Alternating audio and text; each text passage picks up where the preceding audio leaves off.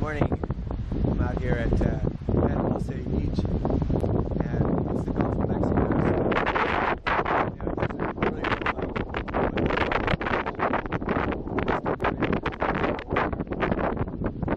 a little bit of wave action there, mostly wind.